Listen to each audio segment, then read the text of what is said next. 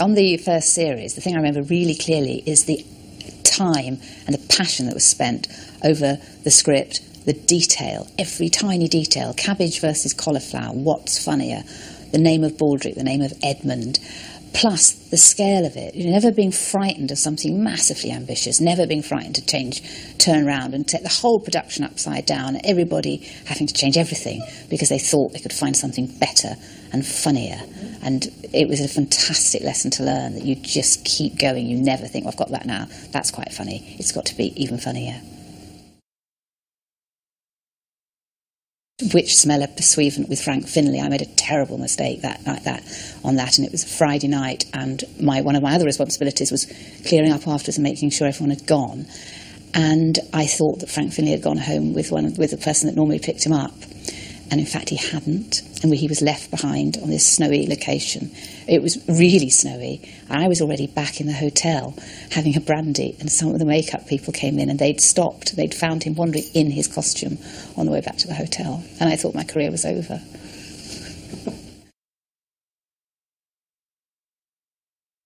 Rowan just inhabited the character, and Rowan became Edmund Blackadder, so that you. I, I went to riding lessons. I took him for when he was learning to ride, and um, he you could see him becoming Edmund, just learning how to think like Edmund.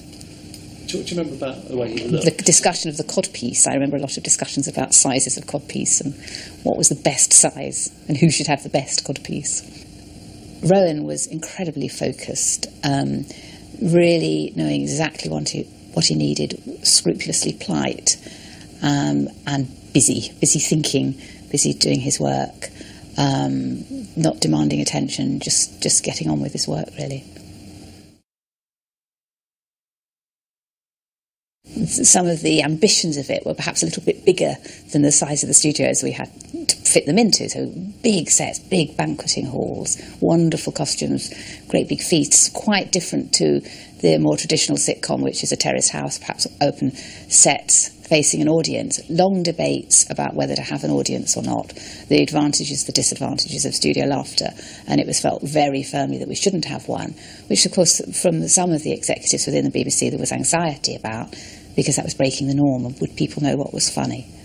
I think that there were certainly times during the first series where you'd turn up and it felt more like a huge, great feature film than a BBC comedy.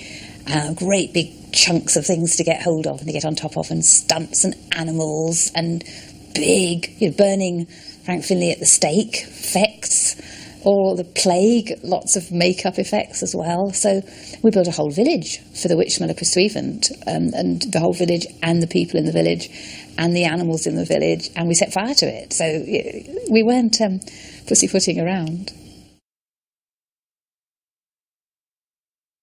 As the AFM, I was lower down the rungs, and my the way I used to work was to try and anticipate what Richard or John or Rowan um, might want next, and try and be prepared. But you, it was impossible. And there was one night when we were tucked up in our little hotel in Alnwick, and about three in the morning, under the door came a little note saying, "Dearest Hilly Billy, please could we have twenty black Jacob sheep on location tomorrow morning?" Um, that would be lovely. We'll love you forever. Kisses. You think, no, how? How do I find any sheep, let alone black sheep? Anyway, somehow you do.